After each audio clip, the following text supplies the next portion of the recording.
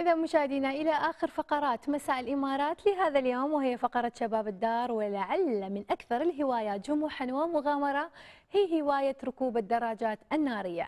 أكيد استطاع الشباب الإماراتي أن يجعل من هذه الهواية تنظيم رائع بنظم وقواعد يجب الالتزام بها لمن يحب أن يمارس هذه الهواية. طبعا هذا الموضوع أنا أدري جدا أنه يهم زميلي عبد الله. إلا صح وين عبد الله؟ أنا بروحي في الاستديو خلينا نشوف عبد الله وين؟ عبد الله وينك؟ حياك الله خديجة نحن موجودين طبعا ما زلنا قريبين من قناة الظفرة ولكن في الخارج. هلا بك عبد الله إيش عندك اليوم شباب؟ الدار خارجي عاد اليوم. اليوم معانا ما شاء الله الأستاذ عبد الخالق العوضي نعرف به الجمهور أول شيء واليوم مع يعني كوكبة من شباب الدراجات اللي يسمونهم الآن بايكرز. حياك الله أستاذ خالد. أهلا وسهلا فيك أهلا وسهلا فيك. آه طبعا آه، اول أرحب فيكم وأشكركم على اللقاء هذا. طبعا نحن الشباب من هواة الدراجات من هاوين الدراجات و وحابين نطور ونعطي فكرة جيدة عن الدراجات وعن آه، جروبات الدراجات والناس اللي قائدي الدراجات. وطبعا نحن آه، في المرتبة الأولى عندنا السلامه على الطريق. وسلامة قائد الدراجة وقائد السيارة في نفس الوقت. آه، وهذه من مهماتنا طبعا ومش صعبه علينا ولا صعب على الجمهور لكن قد ما نقدر نحاول إن نوصل فكرة جيدة وفكرة إيجابية عن الدراجات وعن استخدام الدراجات في دولة الإمارات.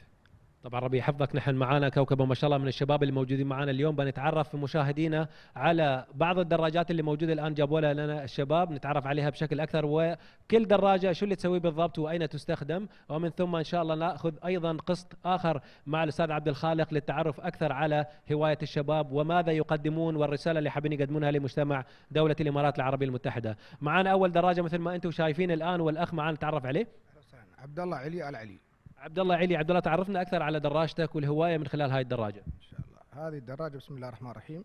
الدراجة هذه هوندا Gold Wing رحال يسمونها طبعا. أه مواصفاتها إن هي 1800 CC وكاملة المواصفات.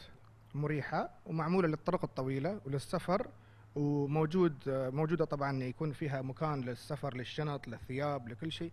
يعني كأنك أنت عندك آه، دراجة متكاملة من كل الأنحاء. ماذا عن مبدأ الراحة فيها؟ هل على الطريق أنتم فعلا ترتاحون ما تواجهون مشاكل؟ يعني هذه أريح دراجة وأكبر دراجة بين الدراجات الثانية 6 سلندر فيها كل المواصفات الرفاهية والراحة. تثبيت سرعة، هيدروليك، كل شيء كل شيء كل شيء من كل النواحي. ما شاء الله هذه هي اختيارك الأول والأخير ولا في شيء ثاني؟ هذا والله لو يعني مثل ما أقول لك إن أنا ما يوم بديت بديت بالدراجات الصغيرة. نعم. وهذه آخر مرحله مرحلة أنا وصلت لها يعني. يعني عشقك الآن ال Gold Wing. الله يحفظك يا رب. شكرا شكرا يا عبد الله عفوا. اذا كانت هذه ال Gold Wing وهي أول دراجة تعرفنا عليها الآن. في دراجة من نوع هوندا ننتقل لدراجة أخرى ثانية ونشوف معانا من ويانا. صلاح عبد الله الصميطي. والنعم فيك يا أخوي صلاح. صلاح تعرفنا على دراجتك؟ أه بسم الله الرحمن الرحيم. أه كوازاكي أه, Vulcan Vaquero 1700 CC V-twin والدراجه أه، كلاسيك على touring يعني تقدر تقول اثنين في واحد. يعني للتمشي وأيضا تقدر تستخدمها في الخطوط. أي نعم. تنافس الهوندا؟ والله مستحيل لكن الأمور طيبة الحمد لله. شو الفرق بينها وبين الهوندا؟ الهوندا خمسة غيار ال V-twin ال Vaquero ستة غيار ومريحة على الخط وطبعا اللهم الشنط ونفس المواصفات يعني ما فيها فرق وايد. لكن في في ناس يحبون الدراجات اللي تكون على الشكل اللي هي هاي الكلاسيك وفي شباب للراحه أيضا يستخدمون ال Gold Wing نعم وهي طبعا بعد الكلاسيك مريحة. آه فكل واحد شو الهاوي أنا من بديت الحمد لله الكلاسيك يعني. ربي يحفظك يا رب يا صلاح شكرا جزيلا لك. هذه الدراجة الثانية كانت مشاهدينا. ننتقل إلى الآن نوع جديد وهو ال sport. بنشوف إذا تستخدم داخل الشارع أو في حلبات السباق. بنتعرف أول شيء على قائد هذه الدراجة حياك الله الله يحييك جاسم محمد الحمادي. جاسم خبرنا شوي عن دراجتك. والله مثل ما أنتم شايفين الدراجة هاي سوزوكي 1000 CC. sport رياضية. معدل فيها شيء ولا هي جايبينها طبيعي من الوكالة؟ لا أشياء بسيطة. مثل ما أنتم شايفين آه، تطويلة آه، الشاصي تطويلة على رأي تطويلة الشاسي. هي الهدف الرئيسي من تطويلة الشاسي أيضا بناخذه على الكاميرا. آه، أخونا أحمد تطويلة الشاسي هذا الشاسي ما يكون بهالطول لكن تطويلته شو السبب؟ والله شكل. وتكون ثابتة على المنحنيات على اللفات. وعلى الخطوط أيضا تكون أريح؟ هي على الخطوط. ومثلا يوم آه، تمشيها تكون ثابتة. اذا هاي الدراجة أيضا من نوع سبورت وتستخدم الآن داخل المدينة. طبعا تعرفنا عليها من خلال أخونا. الآن بننتقل إلى الدراجة الثالثة واللي هي فيها تعديلات كثيرة مثل ما نشوف الآن. نتعرف أكثر على هالدراجة اللي أنا ما عرفت نوعها صراحة للحين. محمد الكعبي. محمد شو الدراجة اللي عندك ما شاء الله؟ هاي سوزوكي بليفارد آه، 1800 CC full custom من ال tire لل tire. ال- الدراجة بالكامل معدلة صحيح؟ full custom دراجة. ما شاء الله. وين معدلة هني داخل دولة الإمارات؟ اي نعم في الإمارات. وين معدلينها؟ آه، عند شباب. أسوي لكم دعاية ترى ولا أنت معدلينها بروحك؟ لا يلا عند شباب. group. نعم زين هاي التعديلات أنت تجيبونها من برا ولا يتم تصنيعها داخل الدولة؟ والله تصاميم وأفكار الشباب وتم التعديل هنا في الدولة. والدراجة شو الاستخدام مالها الحين بعد هذا التعديل اللي سويته عليها؟ الدراجة ل show bike؟ ما تنفع ل ride. ال ride طويل ما تصلح. يعني الآن الدراجة هي مصممة لعمليات العرض. خط فيها سباقات شيء؟ هي نعم. شو فزنا فيها شيء اخذنا اخذنا أي بطولة؟ هي في بطولات. ما شاء الله وين؟ في الكويت. شو مركز؟ المركز الثاني. الثاني. والآن بتدخل فيها أيضا في مسابقات جديدة ولا بتعدل عليها بعد؟ لا في تعديلات ثانية إن شاء الله. نشوفها إن شاء الله طرش لنا صور على التواصل الاجتماعي. إذا الله اراد محمد مشكور ونتمنى لك توفيق. يا مرحبا يا أخوي. مشاهدينا مثل ما شفنا هاي أربع أنواع درجات مختلفة. بنرجع معاكم مع أخونا يعني عبد الخالق آه، العوضي. يعرفنا أكثر على رسالة هذه هذيل الشباب وقيادتهم للدراجة هي هواية وهي حب لهذا وعشق للريح طبعا. طبعا هواية الدراجات يمكن صار له سنين آه، وبدأت تتطور عندنا في دولة الإمارات. في جروبات آه، طبعا آه، مسجلة في الاتحاد وفي جروبات اللي هم هواه الهواه طبعا إحنا قد ما نقدر نحاول إن نضمهم للفرق اللي هي الأساسية في دولة الإمارات. طبعا نختار الأعمار الصغيرة اللي هم شوي يعني نقول شوي متهورين. ممكن يكونوا متهورين هالشباب الصغاريه في في سؤال. هناك من يرى المجموعات الدراجات مجموعات ويرى في ذلك انها ممكن تشكل خطورة أو إن هذه المجموعات تسبب مشاكل. نحن نبغى نعطيهم الرأي الصحيح إن المجموعات ماذا تمثل؟ بالعكس المجموعات آه، هذه كلها مجموعات ملتزمة ملتزمة جدا كقائد فريق كمنسقين في الفريق كإداريين الفريق آه، الجماعة هذه كلهم طبعا مشرفين على سلامة الفريق على السلام والأمان في الفريق. آه، نعطي طابع حلو للجمهور وللناس اللي هم يعني يشوفون إن الدراجات هي للفوضى أو للسرعة وهذا إنهم يغيرون رايهم أو يغيرون الفكر إن الدراجات هاي هي أول شيء هواية بعدين رياضة بعدين منتشرة على مستوى العالم. وفي مسابقات وفي بطولات عالمية وفي آه، أكثر من شيء يخص الدراجات. وعندنا والحمد لله رب العالمين في الدولة آه، بطولات مش نقول سنوية تقريبا شبه آه، شهرية. إن كان آه، على مستوى إمارات الشا... إمارات الدولة كلها. آه، طبعا صار في تنافس بالنسبة لأصحاب الدراجات. كان في الأول اللي هو التزويد ال- ال- الإنجن والشغلات هاي الحين لا تغير الفكر إلى تجميل الدراجة بالأكسسوارات ال- هذا ويدخلون المسابقات وتنافس اللي تكون دراجه طبعا آه، مميزة في العرض.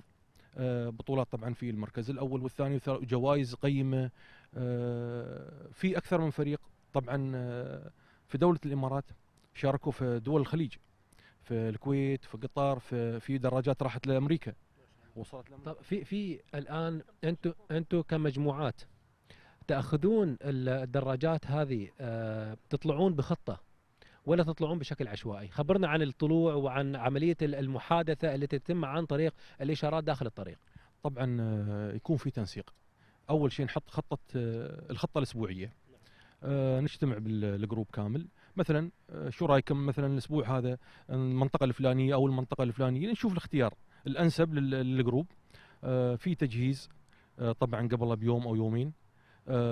إذا كنا رايحين رحلة طويلة في تجهيز غير ذاك إذا إذا داخلي داخل الإمارة مثلا داخل إمارة دبي أو الشارجه أو هذا في تج... يكون تجهيز بسيط. طبعا ال- الإشارات هذه أنا دائما أركز عليها. إشارات ال- ال- التوقف إشارات ال- الانطلاقة إشارات ال- الخطر. هذه طبعا ضرورية كقائد فريق أو كقائد للمجموعة هذه. دائما أركز عليها. وأحب قبل ما أتحرك إن أنبه الشباب إن انتبهوا بتكون في إشارات من آه، أول دراجة لغاية آخر دراجة الكل يلتزم بالإشارات إشارات دولية. طبعا هذه إشارات دولية الكل لازم يحفظها. آه، بالنسبة لل- للمسيرات والشغلات هاي طبعا إحنا دائما نحب نشارك إن كانت مسيرة إن كانت فعالية إن كان آه، يوم وطني إن كان أي شيء. دائما نحب نعطي صورة جميلة وصورة إيجابية للناس عن الدراجات وأصحاب الدراجات والتزامهم بالقوانين والقواعد المرورية في كل الحال وفي كل طلعاتنا وفي كل المناسبات وفي كل شيء. دائما ماذا تقول أخوي عبد الخالق؟ لمن يعتبر الدراجة عائق في الطريق وإنما الدراجة هي مثلها مثل السيارة مثل أي شيء يتواجد على الطريق ومرخصه من الدولة. طبعا الدراجه أول شيء آه، ما يسوقها أي واحد لا يحمل رخصة سواقة. آه، طبعا بيشكل خطر على نفسه وعلى الآخرين. آه، يعني ال- بالعكس آه، صارت الدراجات يمكن في كل بيت في دولة الإمارات ال- الكل هواها والكل حبها. آه، يعني نشوف فرحة الناس لما نشارك في مسيرة أو شيء ونشوف آه، كيف آه، يلتمون على الدراجات واللي يبغي يتصور واللي يبغي هذا. وفي ناس يجونا يقولون نحن والله حابين نشترك وياكم. شفنا التزامكم شفنا الشباب ما شاء الله كلهم شباب كبار وملتزمين وحتى الصغار صاروا ملتزمين ويعطون صورة حلوة عن أصحاب الدراجات. حتى الدراجات اللي كانت هي السبورت اللي معتبرينها يعني أساس الفوضى أو شيء صارت بالعكس الحين أصبحت آه، جميلة أصبحت آه، آه، تشارك في بطولات جمال للدراجات أصبحت يعني ما شاء الله بدأ الفكر والوعي ينتشر من بين الشعب ومن بين كل الناس في دولة الإمارات وصارت هواية حلوة والكل يحب يدخل فيها والكل يحب يشارك فيها. طبعا من المشاركين فيها إن شاء الله ونتمنى لكم التوفيق دوم. وشكرا للشباب الطيبين اللي هم طبعا اليوم تواجدوا معنا أخوي عبد الخالق. يعني اليوم أفادنا بان هاي الدراجات النارية ليست هي عملية فوضى أو فقط رغبة في القيادة وإنما هي عملية هواية مثلها مثل أي رياضة أخرى دولة الإمارات الآن بدأت توفر ووفرت الكثير من المراكز أيضا لممارسة هذه الرياضة بمختلف أشكالها ولكن هناك اختلاف في نوعيات الدراجات والتي تستخدم للقيادة داخل المدينة أو على الطرقات ال- السريعة وأيضا داخل حلبات آه، السباقات. كنا معكم الآن في قناة الظفرة من خارج قناة الظفرة مع هذه المجموعة الطيبة ومع أخوي عبد الخالق العوضي نشكره ونشكر جميع الشباب. شكرا لكم واتمنى لكم التوفيق وما قصرتوا الصراحة. إذا مشاهدينا أنا من هنا أقول لكم إن شاء الله إلى أن أراكم غدا في أمان الرحمن وأترككم مع زميلتي خديجة لإنهاء البرنامج وشكرا. كل الشكر للزميل عبد الله ويتكلم أكثر من ضيوفه ما شاء الله عليه متحدث. طبعا من خارج استديوهات الظفرة إلى داخلها نتمنى أن الحلقة قد نالت إعجابكم. قبل أن أختم أذكركم بمواقع التواصل الاجتماعي فيسبوك تويتر إنستغرام وأكيد رقم الواتساب اللي يبين كل شوي. أسفل شاشتنا اللي هو 0561538644 ولا تنسون المسابقة الأسبوعية بعد طرشون فيديوهاتكم فيديوهاتكم للواتساب. ونحن بنحملها على يوتيوب الظفرة وأكثر فيديو يحصد نسبة مشاهدة. بيفوز معانا إن شاء الله ب 1000 درهم إماراتي تقدمه الظفرة. إلى حلقة الغد. في أمان الرحمن كونوا بخير.